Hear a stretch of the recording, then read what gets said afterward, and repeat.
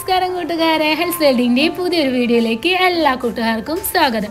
ഇപ്പം ചാമ്പക്കയുടെ ഒക്കെ സീസണാണ് നമ്മുടെ വീട്ടിലൊക്കെ ധാരാളം ചാമ്പക്ക ഉണ്ടാവും. പക്ഷേ ഇങ്ങനെ ഉണ്ടാവുന്ന ഈ ചാമ്പക്ക അധികം പഴുത്ത് നിലത്ത് വീഴാറാണ് പതിവ്. അപ്പോൾ ഈ ചാമ്പക്ക കൊണ്ട് ഒരു കിഡിലും ജ്യൂസ് ഉണ്ടാക്കിയാലോ? അപ്പോൾ അതാണ് ഇന്നത്തെ വീഡിയോ ഈ ചാമ്പക്കയ്ക്ക് പിന്നെ വേണ്ടത് നാരങ്ങയുടെ ഇലയാണ്. നമ്മുടെ വീട്ടിലൊന്നും അധികം വീട്ടിലൊന്നും നാരങ്ങ ഉണ്ടാവില്ല. പക്ഷേ ഇപ്പോഴൊക്കെ നാരങ്ങക്ക് നല്ല വിലയാണ്.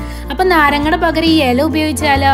അപ്പോൾ ഈ ഇല ഉപയോഗിച്ചാലും നല്ല ടേസ്റ്റ് ആണ് അപ്പൊ നമുക്ക് നമ്മുടെ ജ്യൂസിലേക്ക് കളാം അപ്പൊ ആദ്യമായിട്ട് നമ്മൾ ഈ ചാമ്പക്കയുടെ കൂരൊക്കെ കളഞ്ഞ് ചെറിയ പീസാക്കി ഒരു മിക്സിയുടെ ജാറിലേക്ക് ഇട്ട് കൊടുക്കുകയാണ്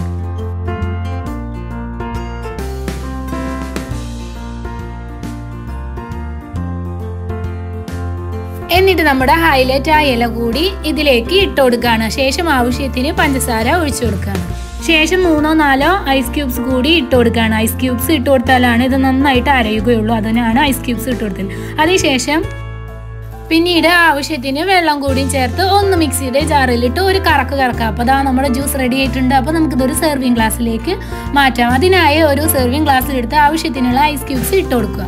എന്നിട്ട് നമ്മൾ ഇത് അതിലേക്ക് ഒഴിച്ചു കൊടുക്കുകയാണ്. അപ്പോൾ അതാ നമുക്ക് സെർവ് ചെയ്യാനുള്ള ടൈമായി അപ്പോൾ ഇതൊന്നും കുടിച്ചു നോക്കുക അടിപൊളി ടേസ്റ്റാണ് അപ്പോൾ ഈ ജ്യൂസ് ഉണ്ടാക്കിയാൽ നിങ്ങൾക്ക് എന്തായാലും ഇഷ്ടമാവും അപ്പോൾ ഇഷ്ടമായാൽ ലൈക്ക് ചെയ്യാനും ഷെയർ ചെയ്യാനും ഒന്നും മറക്കരുത്. അപ്പോൾ എല്ലാവർക്കും താങ്ക്സ് ഫോർ വാച്ചിങ്